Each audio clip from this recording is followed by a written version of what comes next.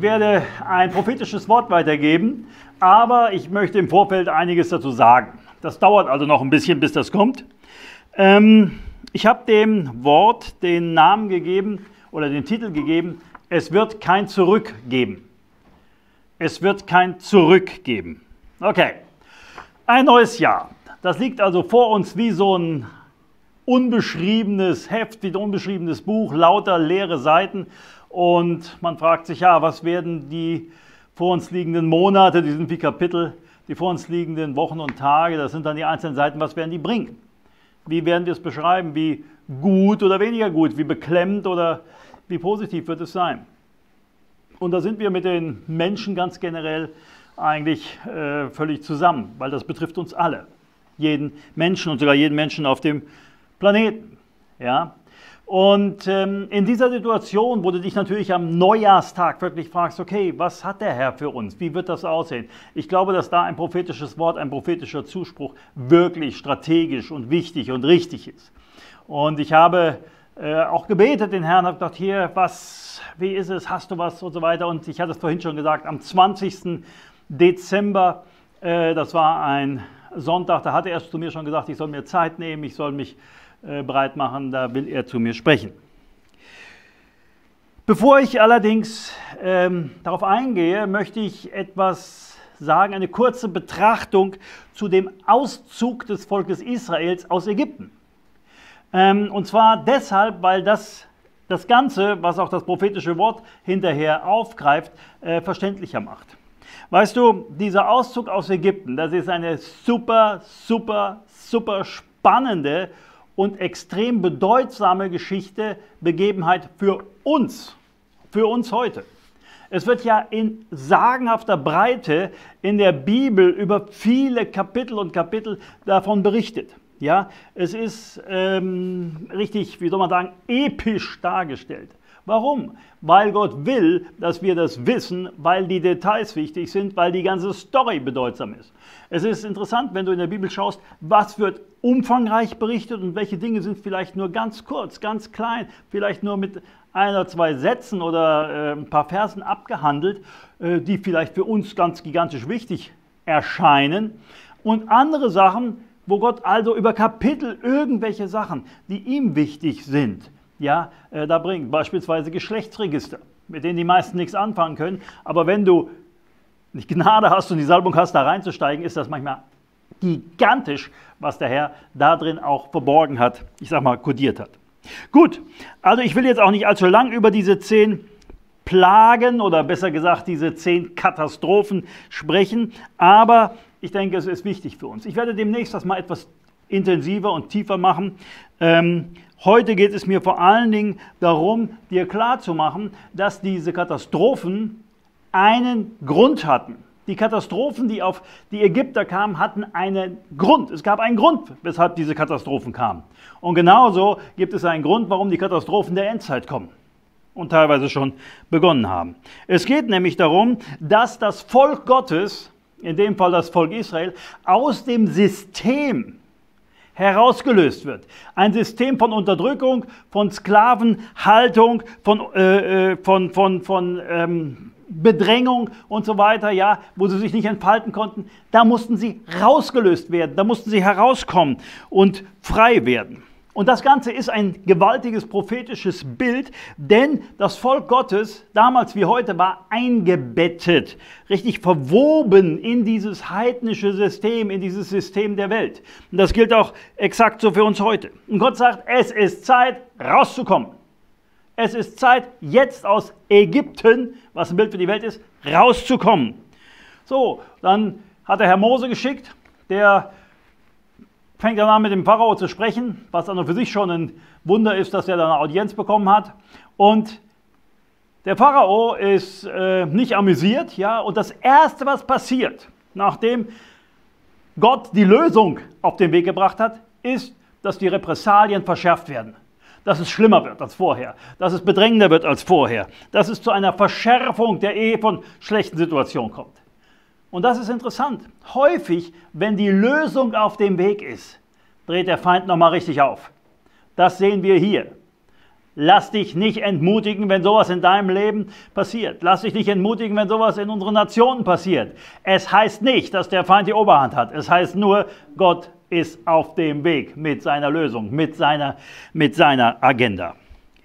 So, die zehn Katastrophen, die da uns von der Bibel berichtet werden, werden durch den Mann Gottes ausgelöst, der im Auftrag Gottes handelt und Gerichtsworte ausspricht. Gott ist derjenige, der agiert. Der Feind, die, der Pharao, also der, der, der Pharao ist ein Bild für den Teufel, ja. Der Pharao hätte nichts dagegen gehabt, die Israeliten noch Jahrzehnte und Jahrzehnte und Jahrzehnte weiter zu unterjochen und auszubeuten und so weiter. Ja. Der hatte ja überhaupt gar kein Interesse daran, dass sich die Situation ändert. Aber Gott hatte ein Interesse daran, dass sich die Situation ändert. Er wollte sein Volk aus der versauten Welt rausholen. Und das ist die Situation, in der wir jetzt auch stecken. So, die ganze Konfrontation kommt, weil Gott aktiv wird. Er, er hört das Gebet. Er erhört das Gebet um Rettung, um Befreiung, Erweckung, eine Ausgießung des Geistes, würden wir heute vielleicht sagen. Ja? Gut. Und dann geht es hier um diese Trennung, diese Separation zwischen der Welt und dem Volk Gottes, zwischen dem, was für Gott wichtig ist, was Blut erkauft ist, was erlöst ist, ja, was ihm gehört und dem, was eben wertlos ist, was nur die Welt ist, was vergehen wird, was in der Ewigkeit keinen Wert hat, weil es in der Ewigkeit nicht wiedergefunden wird. Hat keine Relevanz für die Ewigkeit. So, und wir müssen wissen, diese ganze Story mit dem Auszug aus Ägypten und auch der, der weiteren Entwicklung dann, ist für uns ganz, ganz relevant. In 1. Korinther 10 geht es darum. Da schreibt Paulus, dass diese ganze Situation, diese ganze Erzählung vom Auszug aus Ägypten und der Wüstenwanderung und so weiter ein Vorbild für uns als Gläubige im neuen Bund ist. Warum sagt er das? Weil wir die Gefahr haben, äh, die gleichen Gefahren haben, die gleichen Versuchungen haben, die gleichen Fallen haben, die gleichen Probleme haben, die gleichen Attacken des Feindes haben, wie das Volk Gottes damals. Im Natürlichen, wir natürlich im Geistlichen. 1. Korinther 10, Vers 6, pass auf. Diese Dinge aber sind als Vorbilder für uns geschehen. Das ganze Ding ist ein Vorbild für dich und mich. Und deshalb ist es gut, wenn wir uns damit beschäftigen. Und das Reden Gottes heute geht in diese Richtung. Ja, komm raus, mein Volk, aus dem gefallenen Weltsystem. Und jetzt kommt eine sehr wichtige Aussage. Eine sehr wichtige Aussage in diesem Zusammenhang. 1. Korinther 10, Vers 11. All dies, die ganze Situation, die ganze Story, widerfuhr jenen als Vorbild und ist geschrieben worden zur Ermahnung an uns, über die das Ende der Zeitalter gekommen ist. Aha. Um es ganz auf den Punkt zu bringen, am Ende des Zeitalters soll man sich mit der Story beschäftigen, weil diese Story eine Bedeutung hat. So, das ist natürlich äh, gigantisch, was da alles drinsteckt. Ja, da ist extrem viel drin von der Geburt von Mose, mit dem Wunder, mit der Pharaonenhof und so weiter. Ja, dann diese ganze äh, Erzählung mit der, mit der Gabe des Gesetzes und der Stiftshütte und, und, und. Und dann hinterher auch die Einnahme des verheißenen Landes unter ähm, Josua. Das sind mehrere Bibelbücher, die sich mit der ganzen Thematik beschäftigen. Ein riesiger Themenkomplex. Und heute geht es mir nur um diese zehn Plagen.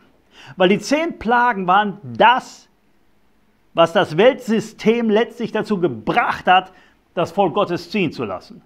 Das ging nicht einfach so. Das ging nicht mit einer netten Petition und einer freundlichen Bitte und sonst was. Lass doch mal bitte schön. Nein, es musste diese Konfrontation sein. Eine Konfrontation, ja, die ähm, dazu führt, dass das Volk komplett freigelassen wird. Findest du alles im zweiten Buch Mose. Erst die Katastrophen, erst die Plagen ermöglichen überhaupt den Auszug. Ja. Genau, das Volk wurde frei von der Abhängigkeit, von der Sklaverei, von der Fremdbestimmung.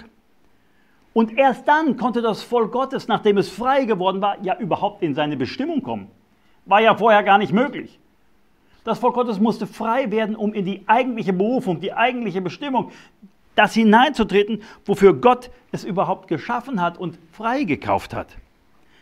Niemals hätte das Volk Gottes damals äh, in diese Position bekommen können, ohne die Katastrophen. Die Katastrophen, die Plagen waren zwingend notwendig, um das Volk herauszurufen, herauszuholen, herauszubringen. Ja, letztlich war es dann so, dass Israel als Volk seine ganze Existenz letztlich diesem unmittelbaren Eingreifen Gottes, diesen Wundern, die er da getan hat, äh, verdankt. Gut, ganz kurz. Die erste Katastrophe war, dass das Wasser des Nils äh, zu Blut wird oder sich in Blutfarben verfärbt. Der Nil war die Lebensader natürlich. Von ihm war die Fruchtbarkeit, der Wohlstand, die Versorgung, alles war abhängig. Ja, das war das, was wirklich das Entscheidendste war für, den ganzen, ähm, für, für das ganze Land, für das ganze Volk, für das ganze System. Und erinnere dich daran, dass früher, also Jahrzehnte früher, wurden die Jungen in den Nil geschmissen, ja, weil die äh, sterben sollten, weil die Israeliten zu stark geworden waren. Der Nil war gleichzeitig das, wo die Kinder geopfert worden sind oder getötet worden sind. Ne? Die Jungen, die geboren worden sind, wurden ins Wasser des Nils geworfen. Die zweite Katastrophe sind die Frösche.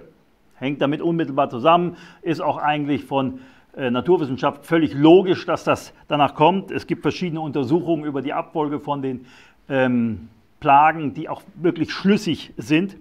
Das Interessante dabei ist, es gab eine Göttin, äh, die hatte einen Froschkopf.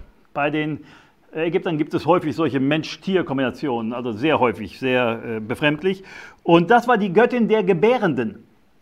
Der Gebärenden. Aha. Die Frösche kamen. Das war das Bild natürlich, wo die Jungs in den Nil geworfen worden sind, die Geborenen, die getötet worden sind. Hier. Ja, jetzt kommt die Froschgottheit. Danach kommen die Mücken. Danach kommen die Stechfliegen. Die Ägypter hatten einen Gott, dessen Symbol, dessen Zeichen waren Stechfliegen. Ja? Und dann wird es langsam ernster. Ich meine, bis dahin war es schon äh, große Qual, aber jetzt wird es wirklich ernst. Die fünfte Katastrophe war die Viehpest. Und das war ein massiver Schlag gegen die Versorgung, gegen die Wirtschaft, sage ich mal, die Landwirtschaft. Ja, die Tiere starben auf den Feldern, auf den, äh, die Herden starben auf den, auf den Feldern, ja, äh, wurden ausgerottet. So, die sechste Katastrophe waren Geschwüre von Blattern, also irgendwelche entsetzlichen Hautausschlag. Die Leute starben nicht unbedingt daran, aber es war etwas, was extrem schmerzhaft war, extrem äh, fürchterlich für die Leute war.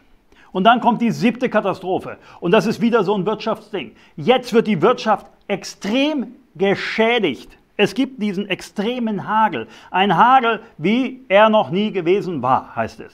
So, und dieser Hagel hat die Landwirtschaft nahezu zerstört, hat, hat äh, äh, also die Ernte, die da soweit war, ja, äh, einiges hat überleben können, ja, was noch nicht so weit herangewachsen war. Auf jeden Fall ein massiver Schlag auch gegen diese Versorgung, gegen dieses System.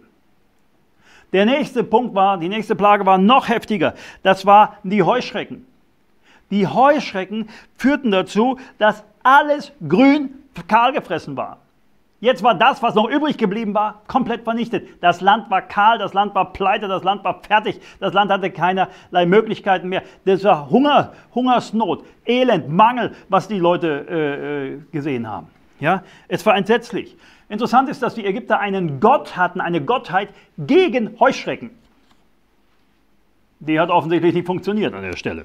Ja? Dann kam die neunte Katastrophe, die Finsternis. Und das erscheint uns so ein bisschen, naja, war ja nicht so schlimm. Hey, das waren Sonnenanbeter. Der Pharao war der Sohn der Sonne, die Sonnengottheit Ra. Dann gab es noch einen Haufen andere kleine Gottheiten, die das Firmament und äh, den Zeitlauf und nochmal die Sonne und alles mögliche, Sterne und so weiter äh, symbolisiert haben. Die wussten nicht, dass das nur drei Tage sind. Ne? Die saßen da in ihrer Finsternis und haben wahrscheinlich gedacht, das Ende der Welt ist da. Außerdem durfte es extrem kalt geworden sein in den drei Tagen. Wahrscheinlich war ein Heulen und Klagen und Jammern und die Leute haben auf das Ende der Welt gewartet, wie auch immer das aussehen sollte, bis irgendwann dann tatsächlich wieder die Sonne aufgegangen ist. Und die Leute waren an der Stelle, die Ägypter, sowas von fertig, demoralisiert, äh, äh, äh schon jetzt ausgeblutet als Volk durch diesen bekloppten Pharao, der die Israeliten nicht ziehen lassen wollte, weil sein Herz äh, verhärtet war, ja, dass sie gesagt haben, lass die ziehen, lass sie ziehen. Weil sie wussten, das nächste, was kommt, ist, jetzt geht es uns ans Leben. Was soll denn noch schlimmer werden? Das hatte sich ja aufgebaut. Und jetzt war die Situation, hey, wollen die uns umbringen? Was soll jetzt passieren? Und der Pharao, der halt so äh, verbiestert war, der hat dann das Volk in, in die absolute Katastrophe geführt. Und das war die Pessachnacht, die Passanacht. In der Nacht wurden die Erstgeburt äh, umgebracht von allen, allen, allen. Ja, die nicht das Blut des Pasalams an die Türpfosten gestrichen hatten und dahinter im Haus geblieben sind. Sehr interessant, gibt es eine sehr, sehr genaue, präzise Beschreibung, wie das zu laufen hat. Alles sehr, sehr prophetisch. Wie gesagt, werde ich demnächst mal darüber sprechen. Und noch in dieser Nacht, in der gleichen Nacht ist das Volk aufgebrochen und ist ausgezogen. In der Nacht haben sie sich aufgemacht und sind in die Freiheit gezogen. Ja? So, das war diese, dieser Ablauf. Die ersten drei Katastrophen, das Blut, Wasser, die Frösche und die Mücken. Davon wird nicht berichtet, dass das das Volk Israel oder die Israeliten ausgenommen hat. Bei den anderen Dingen heißt es, dass das Land Gosen, wo die gelebt haben, nicht betroffen ist. Bei der vierten Katastrophe nicht betroffen, bei der fünften Katastrophe nicht betroffen. Dann diese Geschwüre heißt es, sie waren an allen Ägyptern, Punkt. Dann bei der siebten Katastrophe, dem Hagel, Gosen nicht betroffen. Bei den Heuschrecken heißt es, im gesamten Ägyp Gebiet Ägyptens, also auch nicht in diesem Gosen. Ja, Gosen ist auch von dieser Finsternis interessanterweise nicht betroffen. Und bei der zehnten Plage dann, der Tötung der Erstgeburts, da sind es alle betroffen, die nicht durch das Blut, was am Holz äh, verstrichen worden ist, ja, geschützt sind. Das Blut des Lammes. Ne? Es ist völlig offensichtlich, um was es geht. Das Blut des Lammes musste angewandt werden. 2. Mose 12, Vers 13 lesen wir, aber das Blut soll euch zum Zeichen an den Häusern werden, in denen ihr seid. Und wenn ich das Blut sehe, werde ich an euch vorübergehen. So wird keine Katastrophe, die Verderben bringt, unter euch sein, wenn ich das Land Ägypten schlage. So, was heißt das auf uns bezogen?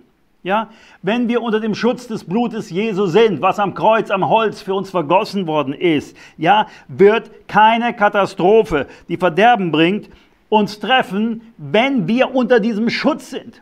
Wie vorhin gesagt, unter diesem Gewandbausch sind, in seiner Nähe sind, unter der Stimme des Hirten sind. Ja, der Herr wird Ägypten schlagen, aber sein Volk wird frei werden.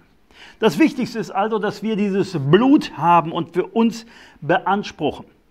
Das ist der entscheidende Unterschied, der letztlich die, den, den, den Auszug aus Ägypten bewirkt hat. Diejenigen, die unter dem Schutz des Blutes waren, die waren diejenigen, die das Volk Gottes gebildet haben.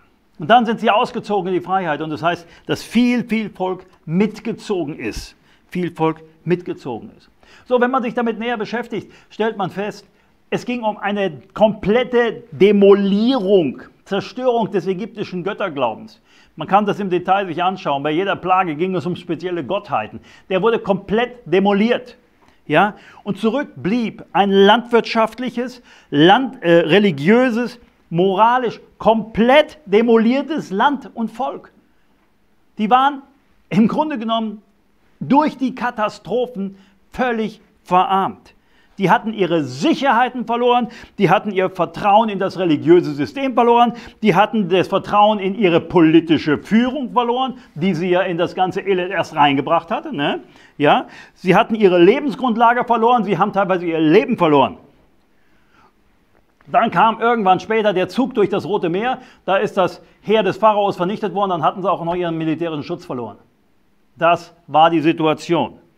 Und das, sagt die Bibel, gemäß Korinther ist ein Vorbild für dich und mich. So, das finde ich sehr, sehr bemerkenswert, wenn man sich damit beschäftigt und sagt, hey, es geht darum, dass heute auch noch das Volk Gottes rausgeholt wird aus diesem Weltsystem, was am Zusammenbrechen ist. Wenn du das noch nicht gemerkt hast, dann beschäftigst du dich mit den falschen Medien. Das System der Welt ist bereits am Kollabieren. Das System der Welt ist am Zusammenbrechen. Ja? So wie damals ein Ding nach dem anderen in Ägypten passiert ist, gibt es jetzt eine Abfolge von satanischen Ereignissen, die wirklich das System dieser Welt zusammenbrechen lassen. So, dieses System, in dem wir alle drinstecken, in dem wir alle leben, das wir alle kennen, das alles um uns herum ist, gibt uns natürlich Sicherheit. Gibt uns auch irgendwie unser Auskommen. Ja? Da gibt es natürlich alles, was wir da kennen, was, was wir brauchen. Ne? Das ist ja so unser Leben. Unsere Versorgung und alles haben wir ja da drin. Und wenn es dann heißt, das wird zerstört werden, dann ist das erstmal mulmig. Das war für die Israeliten auch so. Die haben zwar miserabel gelebt, aber das war ihre Versorgung. Und haben ja hinterher auch hinterhergejault hinter den Fleischtöpfen Ägyptens. Ja, die zu dem Zeitpunkt, als sie gejault haben, übrigens nicht mehr existent waren. Ne? So, also ähm, die Situation ist die, das Volk hat auch alle Sicherheiten verloren. Das hat die Häuser, in denen sie gehockt haben, die waren zwar elend, aber da, die haben sie verloren. Sie haben ihre erbärmlichen Arbeitsplätze verloren. Sie haben ihre, ihr, ihr, ihr, ihr ganzes System verloren. Ihre Sicherheit, ihre Versorgung, alles. Ihr Leben in Ägypten haben sie verloren. Und der Herr hat sie in Freiheit führen wollen, in ein eigenes, verheißenes Land voller Segen. Gut, wir wissen natürlich durch den biblischen Bericht, dass die das im ersten Anlauf nicht geschafft haben. Da sind 40 Jahre durch die Wüste geeiert. Aber das soll nicht für dich und mich gehen, nicht wahr? Letztlich geht es darum, dass die Söhne und Töchter Gottes frei werden aus dem System dieser Welt. Ja? Und das System, auch wenn wir es in Deutschland nicht so erkennen, anderswo ist das offensichtlicher erkennbar, ist ein System voller Ungerechtigkeit, voller Niedertracht, voller Bosheit, voller Sklaverei, voller Betrug, voller Lüge, voller Missbrauch, voller Unterdrückung, voller Ausbeutung. Es ist ein gefallenes System unter der Herrschaft des Teufels. Denn die Bibel sagt, der Teufel ist der Herr der Welt.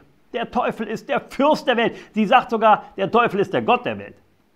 Ja, so, und das sind Dinge, die sind schon sehr, sehr bemerkenswert. Und Gott will sein Volk da rausholen am Ende der Zeit.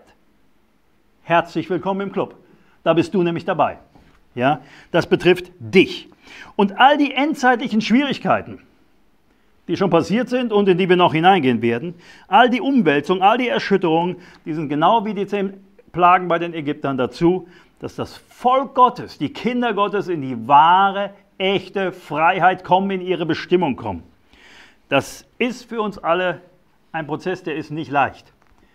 Der ist schwierig, weil das, was wir kennen, worauf wir unser Vertrauen setzen, wird erschüttert werden und wird teilweise zusammenbrechen.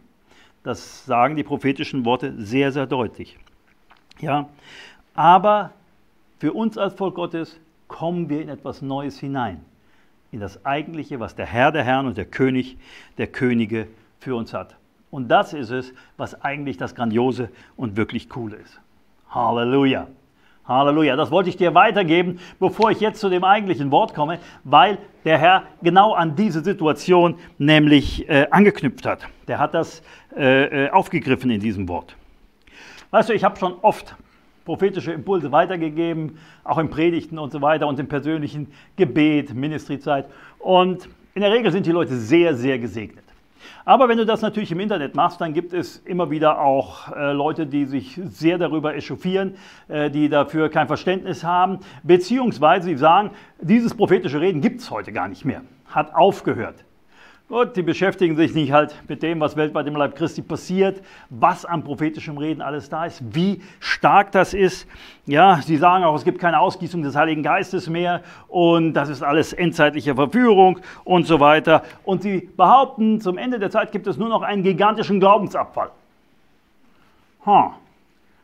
Weißt du, und das ist eine sehr, sehr einseitige, sehr, sehr negative Sichtweise, die von verschiedenen Kreisen äh, weitergegeben wird oder, ja, ich würde mal sagen, geschürt wird. Ein apokalyptisches Schreckensszenario, wo man sich möglichst durch eine Entrückung, die vorher stattfindet, äh, vorher von verabschieden möchte. Ja, weil das so bedrängend ist. Ja, in der Bibel wird berichtet von den Katastrophen und den Schwierigkeiten und der ganzen Situation. Aber wie gesagt, vergleiche es mit den Plagen in Ägypten. Und ich möchte eine ausgewogene biblische Sichtweise weitergeben, wo man sagt, okay, die Bibel spricht von diesen Dingen. Ja, aber sie spricht auch von dem Wirken Gottes. Sie spricht von den genialen Verheißungen der Heiligen Schrift, die uns gegeben sind. Sie äh, äh, verheißt uns so genial viel. Und wenn man das ausklammert, das ist nicht in Ordnung. Wenn man das unter den Teppich kehrt, das ist nicht in Ordnung. Von unserer Seite aus sagen wir, Finsternis und Licht laufen parallel. Parallel. Das Reich Gottes und das Reich der Welt läuft parallel. Schau, jetzt, momentan, in unseren Ländern, in der westlichen Welt, in Europa, Deutschland, Österreich, Schweiz, haben wir das Reich der Finsternis auf der einen Seite, das Reich des Lichtes Gottes auf der anderen Seite und dazwischen ist das riesige Tal der Entscheidung. Und Millionen und Millionen und Millionen Menschen sind in dem Tal der Entscheidung, im Dämmerlicht, im Zwielicht. Was passieren wird in den nächsten vor uns liegenden Jahren ist, dass da immer mehr Klarheit reinkommt, immer mehr Licht reinkommt, immer mehr Wahrheit reinkommt und die Leute werden sehen, wo sie sind. Einige werden in die Finsternis gehen. Auch einige Leute, bei denen man es vielleicht nie gedacht hätte. Sie werden in die Finsternis gehen. Und die meisten, viele, viele, viele werden sich dem Licht zuwenden. Und am Ende wird es nur noch schwarz-weiß geben. Das Tal ist leer. Verstehst du? Das Tal der Entscheidung ist leer. Jeder wird seine Entscheidung getroffen haben. Die einen sind im Licht, die anderen sind in der Finsternis. Da gibt es einen großen Abfall, ja.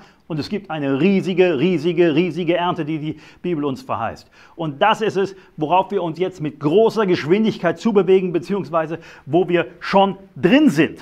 Ja? Und ich habe hier dieses Buch geschrieben, Reich, Kraft, Herrlichkeit. Und das ist ein Buch, wo genau über dieses Thema von unserer Seite aus berichtet wird. Also wenn du da tiefer einsteigen willst, empfehle ich dir dieses Buch, ja, wo es um dieses Reich Gottes und die Ausbreitung des Reiches Gottes und diesen gigantischen Konflikt am Ende der Zeit wirklich geht. Ansonsten empfehle ich dir hier diese Broschüre, wo prophetische Worte drin stehen. Wenn du die noch nicht hast, Fordere sie bei uns an. Es ist etwas, was dich aufbaut, was dir zeigt, was Gott heute durch Propheten zu uns spricht, was auf uns zukommt. Da sind auch zwei Worte drin von mir, die ich ähm, äh, ausschnittweise, die ich schon per Video weitergegeben habe. Und ich habe hier in, dem, in der Beschreibung unterhalb des Videoplayers, äh, die du siehst, da sind verschiedene Links drin wenn du da tiefer einsteigen möchtest. Beispielsweise, wenn du sagst, ich weiß nicht, wie, wo ist denn in der Bibel verheißen, dass es eine große Erweckung geben soll. Da habe ich eine Predigt zugemacht. Der Link steht unten. Dann auch diese prophetischen Impulse, die ich schon weitergegeben hatte. Da ist eines, der heißt, es ist wirklich an der Zeit, das Haupt zu erheben vom Oktober. Das findest du dort. Ein anderes aus dem April, das heißt, die Erschütterung wird weitergeben. Das findest du dort auch auch allgemein Prophetien zu dem, was Gott uns gesagt hat, findest du dort. Und auch, wie gesagt, die Möglichkeit, dir hier äh, die Broschüre, die wir dir gerne, wirklich gerne kostenlos zusenden, auch für Hauskreise oder deine Freunde, äh, wo du die bestellen kannst. Halleluja. Gut. Dieses Reden Gottes am 20. Dezember war für mich wie eine Zusammenfassung von diesen verschiedenen Impulsen, die ich da schon weitergegeben habe. Es war eine Botschaft, wo ich gesagt habe, es ist eine interessante Dringlichkeit drin und gleichzeitig Hoffnung.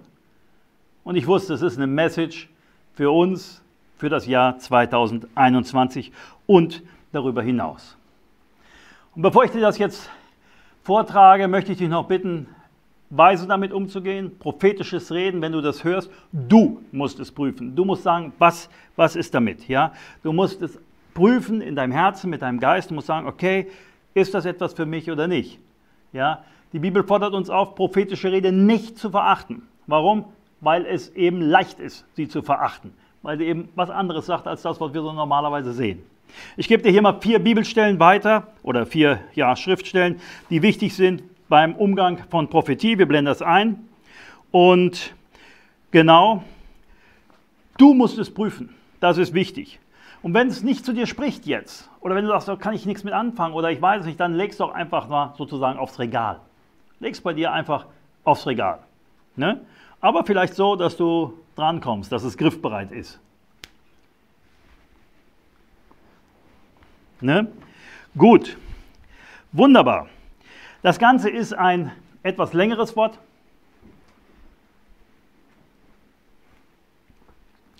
Und ich schlage vor, dass du dir Zeit nimmst dafür. Vielleicht machst du einfach die Augen zu, ja, und bittest den Heiligen Geist zu dir zu sprechen, das in deinem Herzen zu bestätigen und ja, stellst dich einfach auf Empfang ein. Wir werden dieses Wort auch in äh, Kürze in einigen wenigen Wochen in unserem nächsten Freundesbrief publizieren. Wir haben hier unseren Freundesbrief, den wir so vier, fünf Mal im Jahr verschicken. Und ähm, da wird es drin kommen im nächsten. Also, ähm, wenn du es haben möchtest, wirst du es da bekommen können. Kannst den Freundesbrief gerne bei uns kostenlos abonnieren. Okay, jetzt also das Wort des Herrn. Ich habe dem den Titel gegeben, es wird kein Zurück geben, aber das ist nur mein Titel. Äh, gut. In der Zeit, die die Menschen die Corona-Pandemie nennen, dies ist eine Zeit, wo große Wellen, Flutwellen, wie Tsunamiwellen von Lüge, von Betrug, von Hexerei und Manipulation, vom Wirken des Bösen über den Globus gehen. Doch dies sind nur kleine Vorwehen von dem, was ich tun werde. Ich bin der Herr und ich gebe meine Ehre keinem anderen. Ich habe verheißen, dass Flutwellen des Lichtes über diese Erde gehen werden, dass Milliarden von Menschen mich kennenlernen werden, dass Dinge der Bosheit offenbar werden, dass es Erschütterung über Erschütterung über Erschütterung über Erschütterung geben wird. Und ich bin der Herr, der dies gebraucht, um mein ewiges Reich zu bauen. Das, was momentan geschieht, ist nicht außerhalb meines Planes, ist nicht außerhalb meiner Möglichkeiten, ist nicht außerhalb dessen, was meinen Absichten entspricht. Im Natürlichen sehen Dinge häufig anders aus als im Geistlichen. Denkt nur an die Situation der Kreuzigung. In dem Moment, in dem es im Natürlichen nach der gigantischsten Niederlage aussah, war gleichzeitig der ewige, unvergleichliche, unermessliche Sieg da. Dinge, die im Natürlichen schlecht zu sein scheinen. Im Geistlichen sieht die Situation komplett, diametral entgegengesetzt aus. Ich habe dir bereits gesagt, dass die Mächte der Finsternis stark bedrängt sind, auf dem Rückzug sind, eingekesselt sind durch die Armeen des Lichts. Ich habe Beter berufen, die vorwärts gehen, mit den Engeln zusammenzuarbeiten, den Mächten der Finsternis gebieten, in die Schranken zu gehen. Ich habe Kämpfer berufen, die nicht ihre Knie beugen vor diesem verdorbenen Weltsystem. Und wenn Erschütterungen kommen, muss mein Volk wissen, dass diese Erschütterung wie beim Auszug aus Ägypten die Katastrophen sind, die Erschütterungen sind, die das wiedergöttliche System braucht, um das Volk Gottes herauszugeben. Es ist ein Prozess wie bei einer Läuterung. Die Hitze des Läuterungsprozesses dient dazu, dass das Gold hervorkommt. Die Hitze der Erschütterung, des Zusammenbrechens dient dazu, dass mein Volk hervorkommt. Ohne diese Erschütterung würde das Gold nicht aus dem Gestein herausgeschmolzen werden können. Ohne die Erschütterung würde das, was in meinen Augen kostbar ist, nicht aus dieser Welt herauskommen können. So sind die Erschütterungen zwar für die Menschen schockierend und furchtbar, so wie es für die Ägypter die Katastrophen waren. Aber es ist das, wodurch ich mein Reich baue, meinen Namen verherrliche, mein Volk herauslöse. Es ist die Ekklesia, die Herausgerufenen. Und ich rufe sie jetzt aus diesem Weltsystem, das im Zusammenbruch ist, heraus. Halleluja! In der Welt gibt es unvorstellbare Kräfte der Lüge, der Manipulation und der Bosheit. Zahllose Staatenlenker und Mächtige, zahllose Sprachrohre haben sich dahingegeben, der Lüge und der Dunkelheit zu dienen. Doch gleichzeitig kommt mein Licht. Gleichzeitig kommt meine Erweckung. Gleichzeitig kommt mein Wirken. Gleichzeitig marschieren die Engelarmeen. Gleichzeitig sind meine Beter und meine Kämpfer im Einsatz. Gleichzeitig verherrliche ich mich. Gleichzeitig kommt es zur Geistausgießung. Gleichzeitig kommt es zu Licht. Überall. Das ist das Wort des Herrn. Halleluja. Und weiter geht's. Und in dieser Situation von Konflikt, Konfrontation in der geistlichen Dimension, dieser Situation, in der Licht und Finsternis aufeinanderprallen, ist es sehr wichtig zu wissen, wo man sich positioniert. Viele in meinem Volk hinken auf beiden Seiten. Viele in meinem Volk sind es gewohnt, sich in der Dämmerung aufzuhalten, sich im Zwielicht aufzuhalten. Ein bisschen Licht, ein bisschen Finsternis. Doch dies wird nicht mehr länger möglich sein. Das Licht wird an Intensität zunehmen, wie auch die Finsternis an Intensität zunehmen wird. Und man muss sich entscheiden. Dies ist ein sehr, sehr guter Prozess.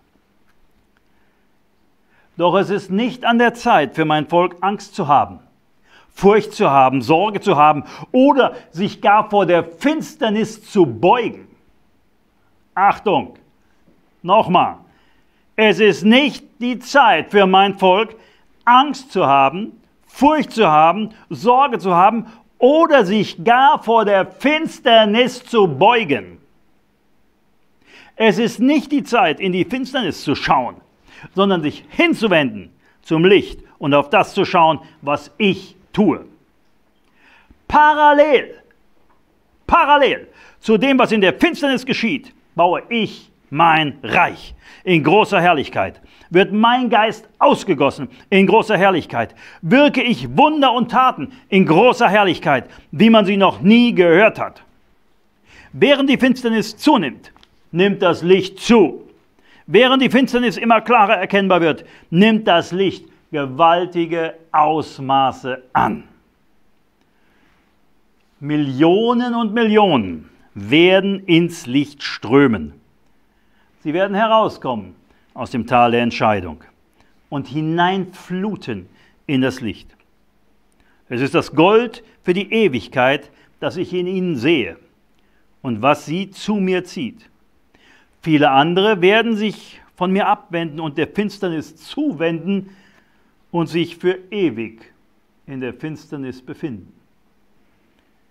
Viele in meinem Volk hinken auf beiden Beinen. Viele wollen nach den Maßstäben des Reiches Gottes und gleichzeitig nach den Maßstäben der Welt leben. Doch das wird immer weniger möglich sein. Die Menschen müssen sich entscheiden, auf welche Seite sie treten wollen. Am Ende bleibt nur Licht und Finsternis. Viele, die sich jetzt meinen, zum Reich Gottes zählen zu können, werden sich in der Finsternis wiederfinden. Doch viel, viel mehr werden sich dem Licht zuwenden, auch in Mitteleuropa, auch in Deutschland, Österreich und der Schweiz, auch in den Ländern, in denen ihr wohnt. Das Entscheidende dazu wird nicht eure Kraft und eure Leistung und euer Können und euer Einsatz sein, sondern die Bereitschaft, meinen Geist unter euch wirken zu lassen. Meinen Heiligen Geist mit offenem Herzen anzunehmen, ohne irgendwelche Vorbehalte, Vorgaben, Vorstellungen. Wer sich dem Geist öffnet, wird leuchten. Wer sich dem Geist verschließt, wird immer mehr zu Finsternis werden. Das Entscheidende, nein, das Entscheidendste in den vor euch liegenden Jahren ist, das Wirken meines wunderbaren Heiligen Geistes zuzulassen. Wer mit mir geht, dem wird alles möglich sein. Wer seine eigenen Vorstellungen über meinen Heiligen Geist setzt, der wird zurückbleiben. Höre! Haha, höre! Nichts ist unmöglich dem, der mit meinem Geist im Glauben vorangeht. Kein Wunder, kein Zeichen, keine Manifestation, keine Krafttat ist unmöglich. Alles ist möglich dem, der da glaubt. Dinge, von denen man noch nie gehört hat, werden geschehen, auch in eurer Mitte. Vollmacht und Autorität im Geist, wie man sie noch nie gehört hat, werden geschehen, auch in eurer Mitte.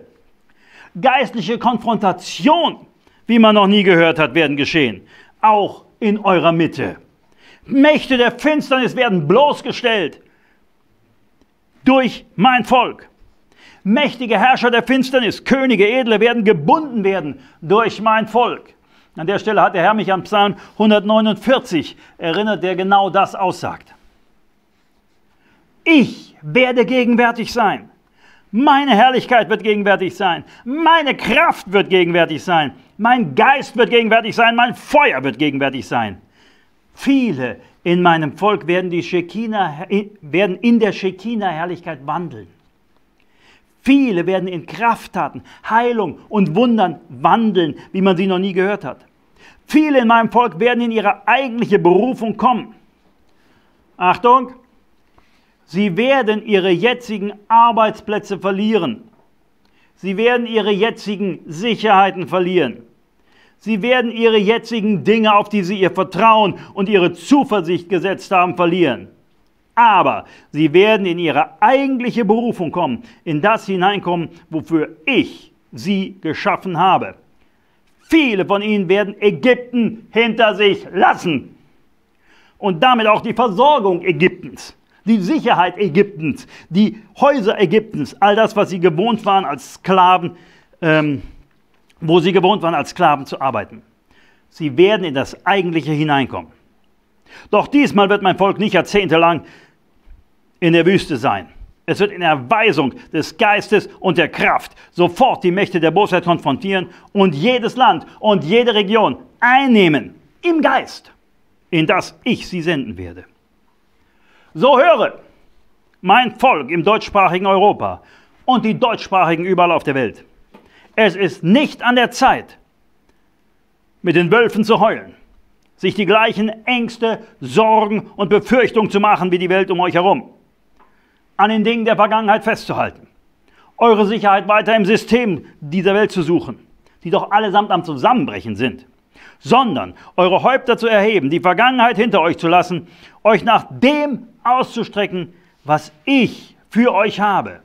Das Wirken meines Heiligen Geistes aus vollem Herzen zu empfangen und hineinzugehen in die herrlichste Zeit, die herausforderndste Zeit die kämpferischste Zeit, die segensreichste Zeit, die es jemals in der Geschichte der Menschheit gegeben hat.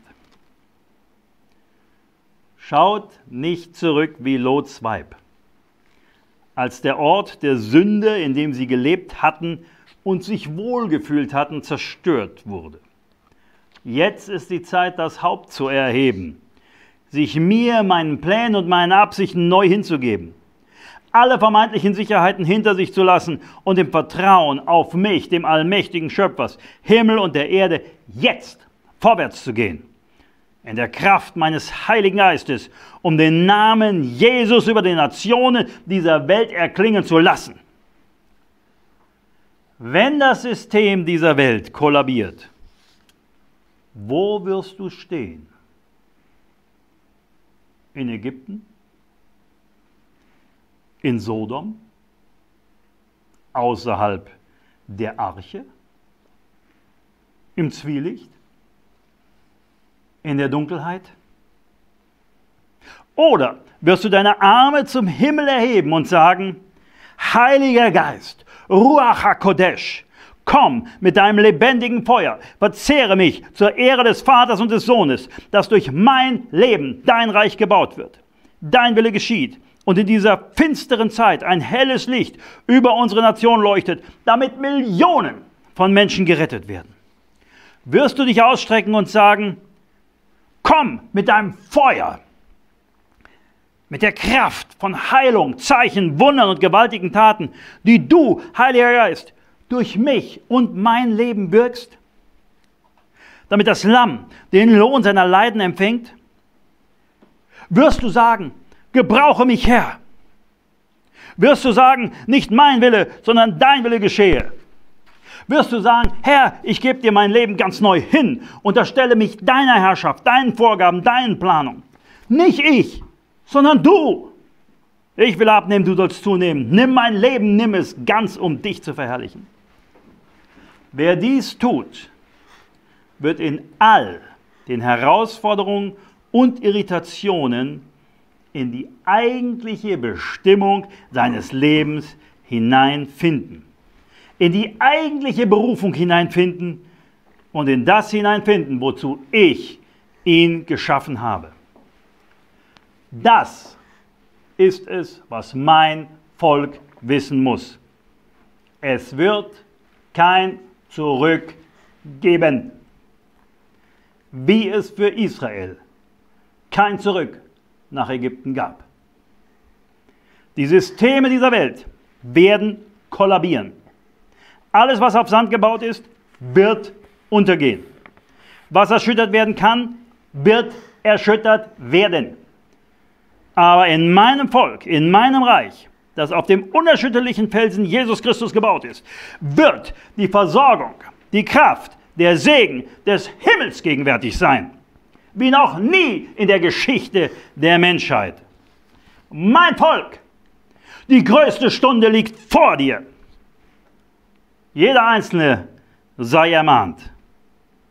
Es ist Zeit, das gesamte Leben ganz neu, ohne Rückhalt hinzugeben und mich wirklich Herr sein zu lassen. Soweit das prophetische Wort vom 20. Dezember für dich, von dem wir glauben, dass es das Wort des Herrn für 2021 und darüber hinaus ist.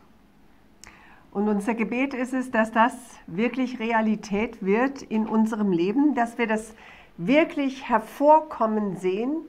Unser Gebet ist es, dass die Rettung, diese Verherrlichung des Namens Jesus, dieses Herrlichsein Gottes, dass das passieren wird in deinem Leben, in dem Leben deiner Nachkommen, in dem Leben von den Menschen, mit denen du zusammen bist. Ja. Und ich wurde vorhin daran erinnert, an diesen äh, Text aus Jesaja 61, den finden wir wieder auch in Lukas 4, Vers 18, dieser ganz äh, bekannte Vers. Das ist für mich vorhin, als ich das nochmal gehört habe, jetzt diese Prophetie, ist das wie ein Schlüsselwort geworden. Und ich will das nochmal vorlesen. Der Geist des Herrn Yahweh ist auf mir, denn Yahweh hat mich gesalbt. Er hat mich gesandt, den Elenden frohe Botschaft zu bringen. Ja zu verbinden, die gebrochenen Herzen sind, Freilassung auszurufen den Gefangenen und Öffnen des Kerkers den Gebundenen. Auszurufen das Gnadenjahr des Herrn und den Tag der Rache für unseren Gott. Halleluja. Zu trösten alle Trauernden, den Trauernden Zions Frieden, ihnen Kopfschmuck statt yes. Asche zu geben. Yes Freudenöl statt Trauer, ein Ruhmesgewand statt eines verzagten Geistes, damit sie Terbinden der Gerechtigkeit genannt werden, eine Pflanzung des Herrn, dass er sich durch sie verherrlicht. Amen. Das ist das, was Jesus auch uns gesagt hat und was seine Aufgabe war und wo er gesagt hat, ihr sollt losziehen. Ihr sollt Menschenfischer sein. Ihr sollt Menschen gewinnen yes. für das Reich Gottes. Yes. Und das ist unser wirkliches Gebet, dass du so ähm, angezündet bist, dass du sagst, ich muss losziehen, damit Ketten gelöst werden, damit Kerker geöffnet werden, damit Menschen verbunden werden, dass der, Ver Entschuldigung, dass der verzagte Geist ausgelöscht wird, ausgelöst wird durch das Freudenöl, durch das Lobpreisgewand, durch ja. das Ruhmesgewand, yes. durch dieses Gewand, was der Herr geben wird. Und äh, das wollen wir beten jetzt in dein Leben hinein, in unser Leben hinein, dass wir genau in dem unterwegs sind. Yes. Das ist das, was Gott jetzt auf unseren Schreibtisch legt, wo er sagt, das tut. Ja, es geht um eine echte neue Hingabe. Ja. Weißt du, als wiedergeborener Christ hast du Jesus dein Leben gegeben. Aber die meisten Leute, das dauert nicht so lange und sie nehmen sich's wieder. ja, und managen ihr Leben und organisieren alles. Und der Herr ist irgendwie Herr, aber nicht wirklich Herr über alles. Und es ist der Zeitpunkt gekommen, wo wir akzeptieren, er ist der Herr. Und wir gehen in eine Zeit rein, wo er Herr sein muss. Ja, und er will uns gebrauchen, wie es hier heißt. Ja, wie es hier heißt. Er will sich durch uns verherrlichen. Ja. Er will sich durch uns verherrlichen. Amen. Aber dazu müssen wir uns ihm hingeben. Dazu müssen wir es erlauben. Deshalb müssen wir sagen, Herr, ich gestatte dir, nimm mein Leben, komm mit deinem Feuer, verzehre mich neu, ich gebe mich dir hin. Ich bin bereit, mein Leben hinzulegen für das Reich Gottes und deine Pläne und deine Absichten. Das ist es, was der Herr will. In den Zeiten, in die wir hineingehen, ist das das, was entscheidend der Unterschied ist. Ja? Hingabe an den Herrn von ganzem Herzen. Von, von ganzem Herzen. Ja, etwas, wo wir sagen, ich halte nichts zurück.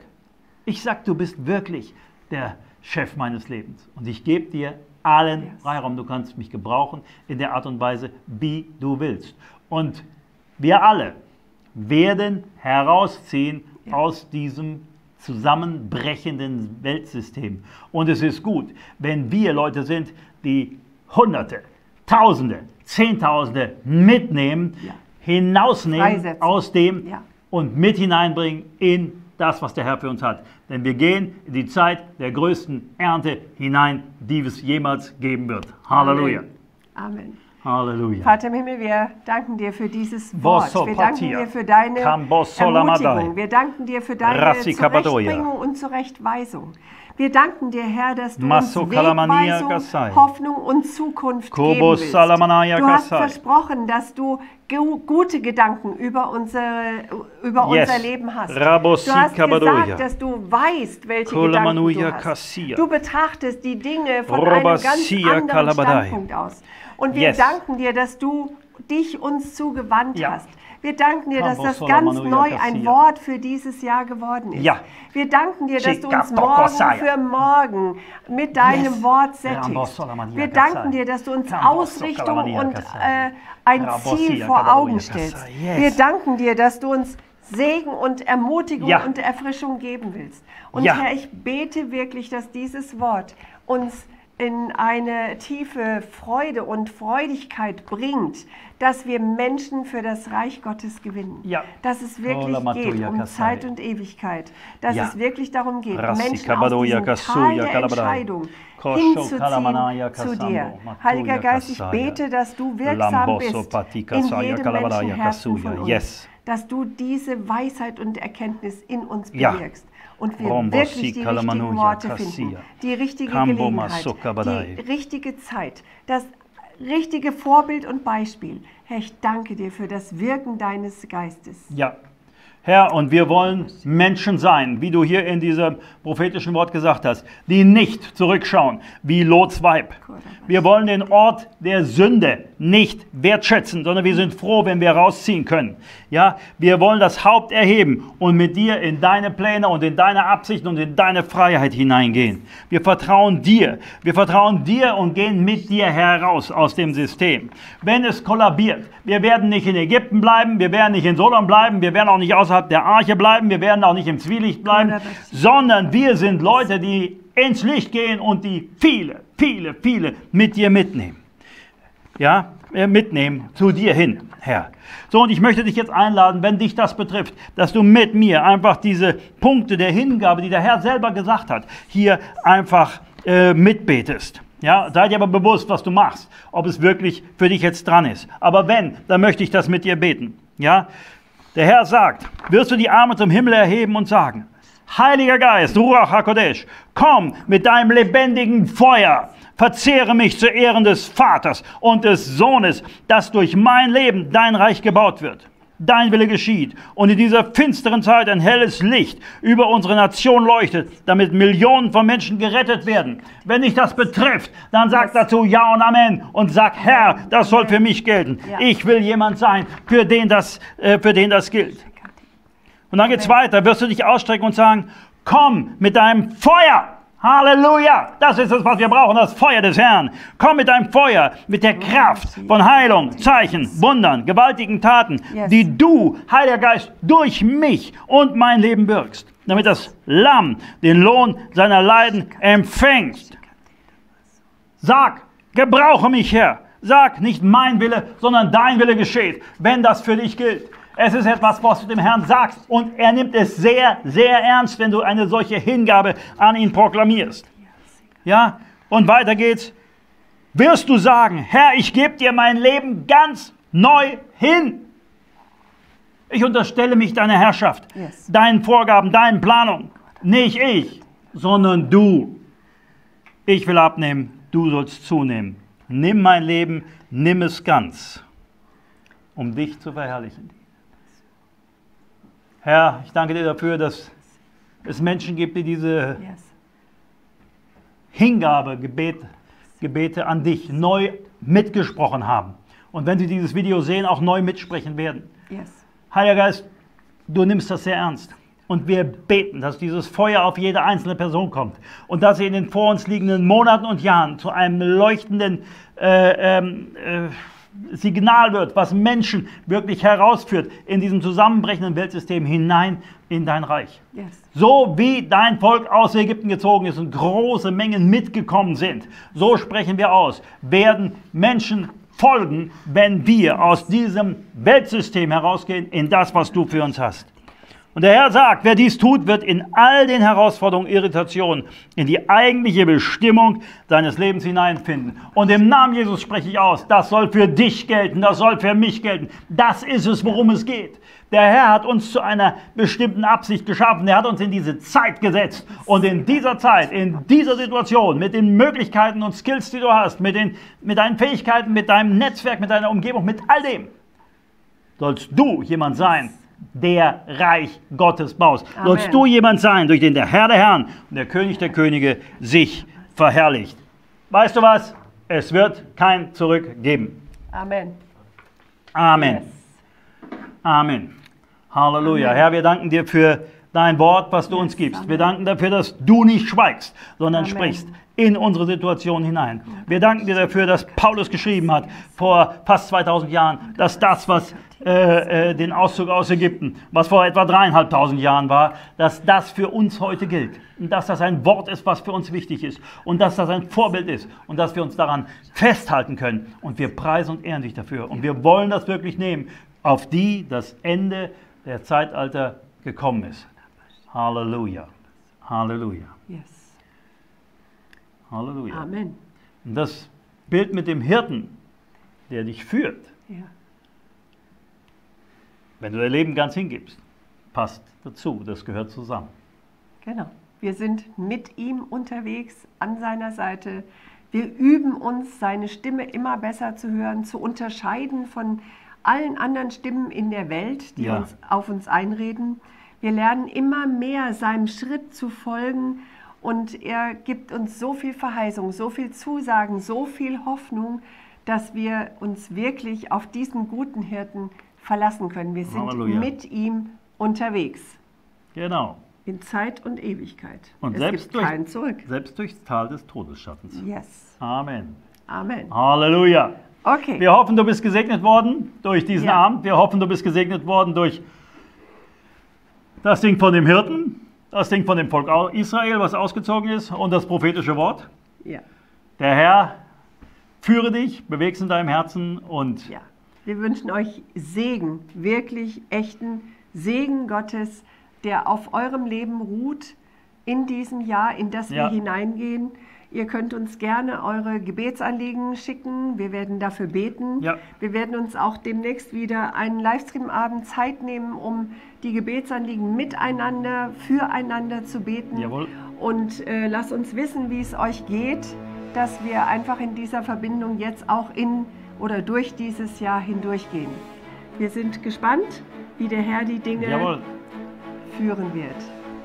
In diesem Sinne, In diesem Gottes Sinne, Segen, seid gesegnet in diesem neuen Jahr Ja. 2021. siegreich und wundervoll. Jawohl, der Herr Gott wird hat uns mehr für führen. euch. Gott hat mehr für dich. Halleluja. Ciao. Ciao, ciao. Blessings.